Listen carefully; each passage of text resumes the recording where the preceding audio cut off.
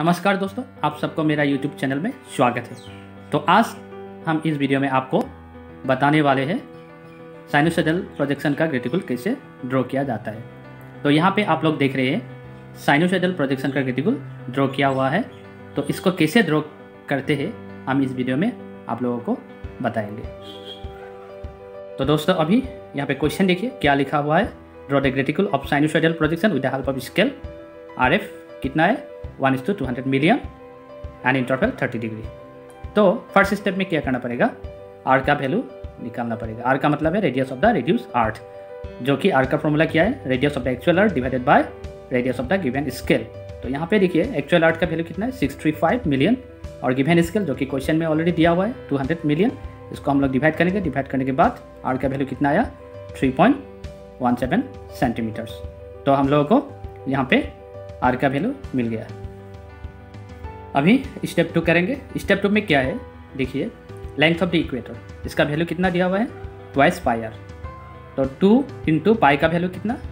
Twenty two divide by seven three point one four और into R का value कितना मिला था हम लोग को? थ्री पॉइंट वन सेवन तो तीनों को हम लोग इंटू करने के बाद इक्वेटर का लेंथ कितना आया?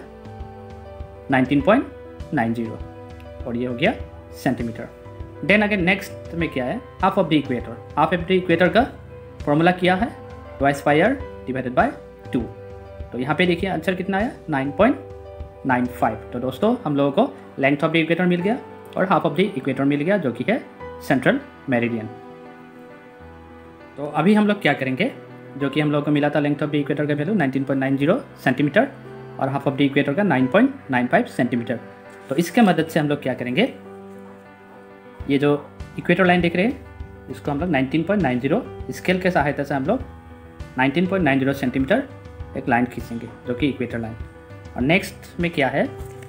Half of the equator. कितना है? 9.95 तो 19.90 को हम लोग डिवाइड करेंगे टू से, उसके बाद 9.95 यहाँ से हम लोग 9.95 स्केल से मेज़रमेंट लेंगे और 9.95 यहाँ पे एक डॉट देंगे। डॉट देने के बाद यहाँ से एक लाइन खींचेंगे। तो ये हो गया सेंट्रल मेडियन और ये बन गया इक्वेटर ओके तो अभी हम लोग क्या करेंगे? स्टेप थ्री स्टेप थ्री में क्या है? देखिए division of other parallel along the central median जो कि हम लोग का सेंट्रल मेडियन ये बना, बन गया है। ये, इसमें से हम लोग अदर पैरल को डिवाइड करेंगे। तो इसका फॉर्मूला क्या है? देखिए pi R into interval divided by one eighty degree तो पाई का वैल्यू ऑलरेडी हम लोग को मालूम है three point into R R का वैल्यू ऑलरेडी पता है हम लोग को three point one seven interval जो कि थर्टी डिग्री दिया हुआ है, इसलिए हम लोग इंटू थर्टी। इसके बाद डिवाइड करेंगे किससे? वन एट्टी डिग्री से। तो आंसर कितना आया हम लोगों का? One point six five centimetre answer आया।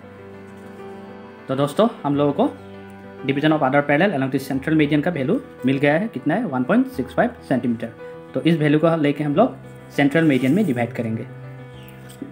ये देखिए इक्वेटर ये हो गया इक्वेटर लाइन ये हो गया सेंट्रल मीडियन तो यहाँ पे हम लोग स्केल को रखेंगे, यहाँ पे zero one point six one point six five यहाँ पे डॉट देंगे वन पॉइंट सिक्स फाइव फिर यहाँ पे वन पॉइंट सिक्स फाइव ये हो गया थर्टी डिग्री का, ये हो गया सिक्सटी डिग्री और ये हो गया नाइन्टी डिग्री ठीक इसी तरह हम लोग इस तरफ़ भी वन पॉइंट सिक्स फाइव करके डिवाइड करेंगे. इसके बाद क्या करना पड़ेगा? हम लोगों को पैरेलल को लाइन एक खींचना पड़ेगा. ये हो गया थर्टी डिग्री का पैरेलल ये हो गया सिक्सटी डिग्री का पैरेलल और ये नाइन्टी डिग्री डॉट ठीक इसी तरह हम लोगों को इधर भी लाइन खींचना पड़ेगा. थर्टी डिग्री पैरेलल के लिए, फिर सिक्सटी डिग्री पैरेलल और ये हो गया नाइन्टी डिग्री।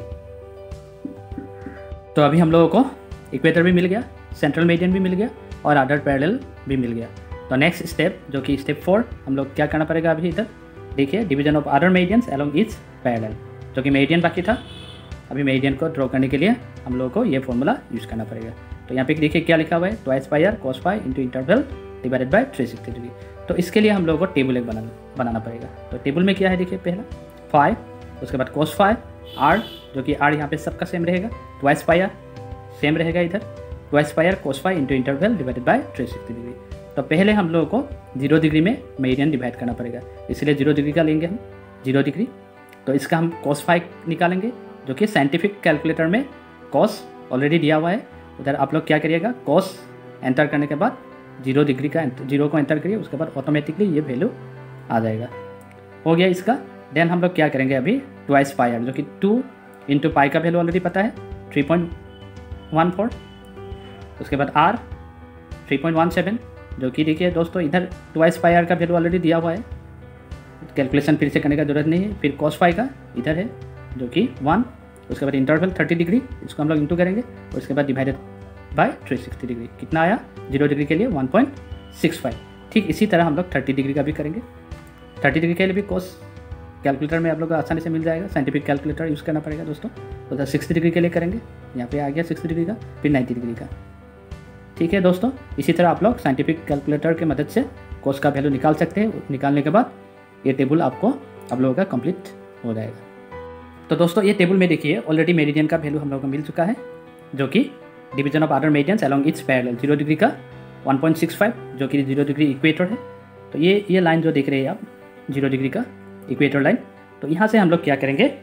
1.65 ये देखिए 1.65 करके यहाँ से डिवाइड करते जाइए अप टू 180 डिग्री तक, जो कि हम लोग का इंटरवल है 30 डिग्री तो यहाँ पे 30 degree 60 degree 90 degree 120 degree 150 degree 180 degree ये ज़ीरो डिग्री में हो गया डिवाइड ठीक इसी तरह आप लोग क्या करिए, इस तरफ़ इस तरफ़ भी डिवाइड करिए 1.65 1.65 करके अप टू 180 डिग्री तक। नेक्स्ट में क्या है?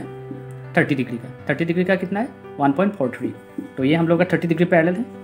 ये नॉर्थ और ये साउथ ठीक इसी तरह हम लोग, जैसे इक्वेटर में डिवाइड करते थे ठीक इसी तरह हम लोग इधर भी डिवाइड करके कितना?